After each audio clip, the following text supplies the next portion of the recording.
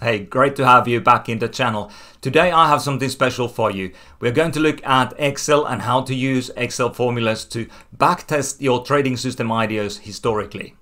So I'm going to show you step by step how you can create these formulas and then you can go and study them on your own and learn more and really create create some great trading systems for yourself. First of all, please do remember that we don't provide any investment advice and all the material is made available for educational and marketing purposes only.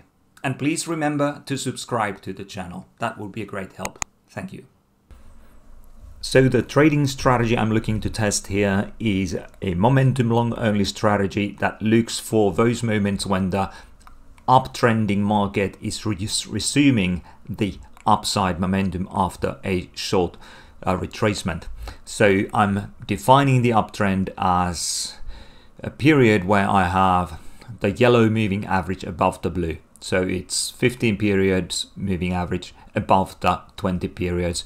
And then I'm looking for points where the there is a red candle followed by a green candle and the moving average is point higher. So simply those are the rules for the trading strategy that we are going to test now. So obviously you will need some data in order to practice this. So you can go to TIOmarkets MT4 and go to Tools and then History Center. Look for oil and then the daily time frame data. And once this is populated here, you go to Export and save the file in the folder that you want. So I have a video folder for this presentation here and I save the file there. Next we go to the folder in question and open it in Excel or alternatively you can use some other program like OpenOffice, LibreOffice or go to Google Sheets. As you can see there are no headings included so you need to add those in, just insert one line there. And if you go to go to MT4, you can see that we have open, high, low and close and then volume. Close and volume. So now we are ready to test this with the Excel and I have something prepared for you already, so I'm going to actually go to that file. But I just wanted to show you that you can actually do this in MT4 and you get the data for free. If you have access to TradingView, then the data retrieval is a little different. Here you can have the moving averages in place already, and if you scroll back the data, uh, and here are the trading signals that I was referring to earlier, but if you keep on scrolling back the data, you can get more and more data. And I think this goes all the way back to 1950s and maybe even further. But that data is hardly relevant nowadays. So maybe maximum to sort of 2008 or or year 2000 even and then you go to this little uh, menu here and you choose export chart data. It'll uh, be Unix time time stamped, but I'm going to show you how to create a proper date for your your file so that you can read the dates as well. Then you just click export and the data will be saved in your downloads folder. The data I'm using here is US oil daily price data from 1989 to 2023 with 8,685 observations. And this data includes 4,433 up days and 4,252 down days. As you can see, they are pretty much evenly distributed. So in order to get an, an, edge in this market, we need to concentrate on periods when the market is moving higher in a trend. So I'm defining the uptrend as we already uh, went through the rules earlier, but just quickly, if you want to have a screenshot of this, you can you can basically have the rules here, and then we can go and look at the data. So when you download the data from TradingView, the data will be with timestamps that known as Unix timestamps, which really don't make any sense before we use Excel to make sense out of this data. So what you need to do is to add another column, which I have already done here. And this will be your sort of proper date column. And this is the formula you will need.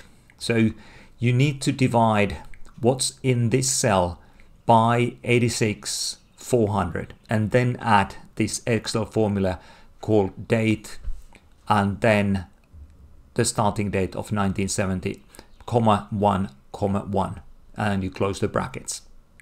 You can take a screenshot of this now if you prefer so or you can come back to this video later on. But basically this is what you have to do and you get another series of numbers. But then you have to go and turn this into short dates in Excel. So you basically format the cells and then once they are short dates, they will be in, you know, proper date format that we can read. We don't need those for this study, but I just wanted to show this to you so that you understand how to do this.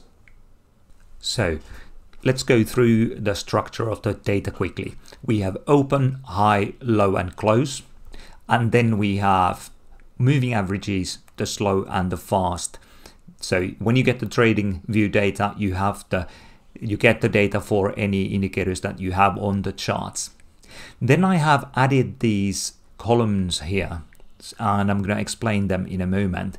But they basically are our test and this is the most important part of this video. So you might want to make notes or take screenshots as we go through these columns because this is the really the beef of this video. This shows you how you can backtest your trading system ideas and get meaningful results on sort of what's in the data and whether it makes sense to work more on those trading strategy ideas. And yeah, without further ado, let's dive in. So the way this works, in this column J, we have either zeros or ones. And if we have a one there, it means that we have a long entry or buy signal there. If there are zeros, there's no buy signal at all. So that's the first stage and I'm going to go through the rules, that the very same rules that we looked at earlier. I'm going to explain to you step by step how you can create these in Excel. So let's look at the first one. So the first rule we have is that the fast MA needs to be greater than the slow. Then it needs to be above the slow. Then we have an uptrend and it's defined in this if statement as the first logical test. So H3 is greater than G3. Then the next rule, the next, next logical test is that the MA, the slow MA needs to be pointing higher. So therefore the current value needs to be greater than the value in the previous line on the previous day. So that's basically telling you that there is an upward slope in this moving average. In this logical test, we are saying that the open of the previous day needs to be greater than the close of the previous day. So basically we're saying that the yesterday, because now we are operating on this line 3, and note that because of this, because we are referring to the previous day, we have to leave the previous day's uh, cell in the J column empty. So now basically we're saying that yesterday was a down day. And the last logical test states that the close in F3, the value in F3, the closing value today needs to be greater than the open value today. So we have an up day, the rule for an up day finishing the logical tests. And then we say, with this last bit here, we say to Excel that, yes, if all these rules are true at the same time, then we want one. Otherwise we want zero. And that's how we get these zeros and ones in this column. Next, I want to show you what the returns will be if we systematically hold the trades for 20 days. There'll be losers and there'll be winners, but I want to know what's the total. And I'm going to show you how to do this in Excel. The first long entry signal comes uh, in the cell J11 and 20 rows or 20 days later we have the first 20 period uh, uh, P&L value I've highlighted these two on, on green so that it's easier for you to spot them. And the formula here is quite simple. So if J11 has a long entry signal, then we want Excel to print the difference between the current closing price and closing price at the time, otherwise we want zero. And this is why we have either P&L returns here, positive and negative, but then we have zeros. Then it's easy to calculate how much return we got from all those signals. There were 512 signals and they produced 76 spot 44 dollars. So it took over 500 signals to earn a little bit more than $76. So that's not great. Obviously, that's not very promising for this system, but the main idea here is to learn how to calculate these in Excel and how to get an idea whether your trading ideas are valid or not.